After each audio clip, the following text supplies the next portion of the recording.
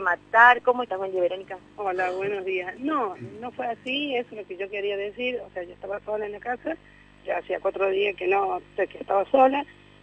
Acá los vecinos comentaron de que yo me quise matar porque no asimila la separación. Hace dos años que estoy separada. Si me hubiera querido matar, me mato al primer mes de separada. No creo que voy a esperar tanto al otro día que me separé. En ningún momento me abandonaron, no es así. Yo estoy con mis hijos permanente, yo salgo a trabajar, yo me encargo de mis hijos sola, a mí nadie me da nada. Estaba encerrada. Pero estás deprimida, ¿de verdad que estás en un pozo depresivo, eh, donde ya ves, digamos, la vida oscura y por eso esta decisión? No, o sea, eh, sí, estaba sola, y lo que hacen, o sea, hago mucho de encerrarme sola. Yo me encerro sola, estaba sola en la pieza, y cuando enchufo una larga, me salta chispa, o sea, y yo al tener el cubre en la cama, me empieza a arder todo. O sea, no lo, no es que prendiste fuego a propósito. No, no, nada que ver. ¿Qué querías enchufar en la zapatilla? Si tenía enchufado el televisor.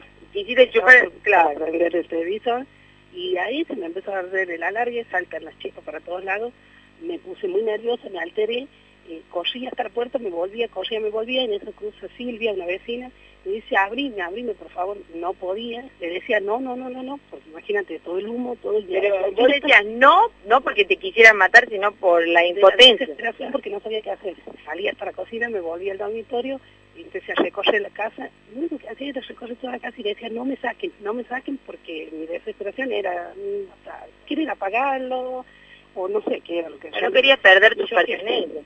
Me choqué en ese momento, no quise salir, no quise nada. Eh, no es eso que se dice que yo me quise matar, si me hubiera querido matar, no prendo fuego.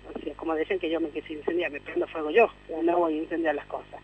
Eh, tengo tres hijos menores. ¿Viven con vos los chicos? Sí. Eh, el más grande no, el más grande vive con mis suegros, yo vivo con los más chicos, pero está permanente conmigo los tres yo salgo a trabajar a la mañana de por hora para darle de comer, para vestirlos, calzarlos. Nadie me da nada, solamente... ¿Tuviste alguna vez algún problema, intento de suicidio, problema psiquiátrico? Jamás tuve problemas psiquiátricos, se dijeron que yo tomo pastillas depresivas, no me medico con nada.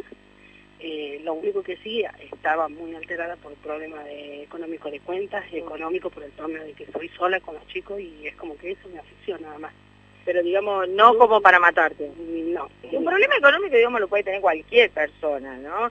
Digamos, eso nos pasa a todos, pero digo, eh, para llegar a la determinación de matarte, no. No, no. ¿Por qué entonces? Porque la gente dice, claro, la queríamos ayudar, queríamos que salga y ella no quería salir. Era mi desesperación, porque, o sea, no sabía qué hacer. Hasta la puerta, me volvía y no sabía, realmente no sabía qué hacer, iba, volvía, perdí todo, perdí todo. ¿Qué se te quemó? Eh, lavarropa, cocina, placar, juego de dormitorio, televisor, equipo de computadora, todo. Perdí todo, se me reventaron vasos, platos. Quedé sin nada. Solo muchas pertenencias que durante muchos años te costó conseguir. Y todo lo conseguí limpiando en casa de familia pulmones. Hasta la misma casa se hizo pulmones. No me dieron familiares, no me dieron parientes, nadie me dio nada.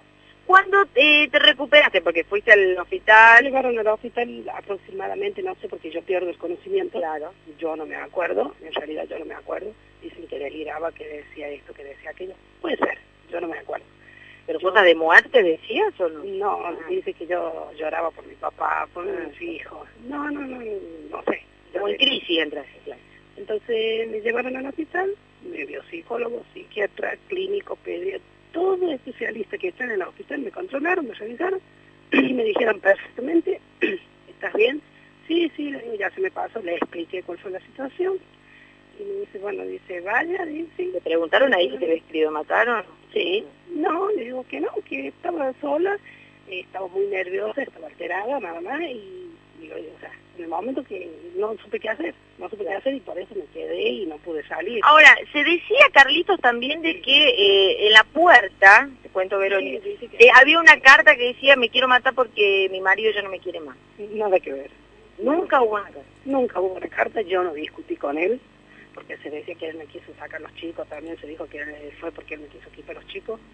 Yo no discutí con él en ningún momento eh, él vino por su llamado de los vecinos que vino a ayudar a apagar el incendio. Porque todo esto, decir que te quisiste matar, eh, puede complicarte en todo, hasta en la tenencia de tus propios hijos. O sea, y yo no me quería que me saquen mis hijos. Yo vivo para mis hijos, todo lo que tuve, todo lo que perdí, todo el material que se perdió me costó a mi sola. ¿Cuántos años tenés, Vero? 32 años. Son muy jóvenes. 33 años. 33 años. Sí, no me quiere matar, o sea, mis hijos son chiquitos, eh, a mis hijos, o sea, yo ya perdí dos hijos y no me quiere perder tres. Cuando te enteraste de que todo el mundo y en las noticias decían de que eras una suicida, me dio mucha impotencia y me dio bronca y por eso decidí yo traer el canal. Para aclarar, para aclarar eh, todo y que vean realmente lo que pasó, porque vos mismo lo viste, vos recogiste toda la casa, vos viste los cables, los alargues, las cosas. Es más, el domingo, eh, no, el miércoles, porque hoy es jueves, sí, antes de ayer, antes de ayer, hoy es viernes, miércoles a la tarde, yo me vuelvo a querer ir a enseñar el lavadero y cruzo un vecino a palármelo con ropa mojada que saco de la toda que se me quemó, porque yo estoy con la ropa con la cual ando ese día, remeras de la vecina, porque perdí todo. Eh, ¿Qué es lo que estarías necesitando ahora, Vero, eh, para que te ayude la gente por ahí que te esté escuchando, si algún área del gobierno tiene la posibilidad de acercarse? ¿Qué es lo, más inmediato que vos necesitas? Y yo lo único que pido, nada más, porque lo demás lo voy a, lo voy a recuperar yo, con mis propias manos, para mis hijos, como siempre lo hice, eh, es que venga y me, ya sea que me en toda la casa, para sacar todo eso que me quedó todo negro, porque tengo toda la casa negra, usted la vio. Y el olor tremendo, claro. Eh, es eso que no le quiero hacer el trastorno psicológico a mis hijos. Yo estoy permanente con ellos, ellos no se quieren ir, hay amigas conocidas que me quisieron llevar, se ofrecieron, vamos a dormir a casa, que yo eh, tengo una amiga que está acá presente, que ella vio que los chiquitos lloran y no se quieren ir. Verónica, ¿cómo era tu apellido? Romero. Verónica Romero necesita entonces, Carlitos, eh, que venga algún área correspondiente para eh, ver la posibilidad de que le puedan sacar todo eso negro, todo lo quemado que queda en las paredes que recién Víctor estaba mostrando, eh, y que se lo vuelvan a revocar, digamos, que es lo imprescindible. Y de también aparte del techo caído de la habitación, y eso sí, yo estoy metido en una sola piecita con los chicos, pero permanente está cayendo el polvillo, en donde estoy comiendo también.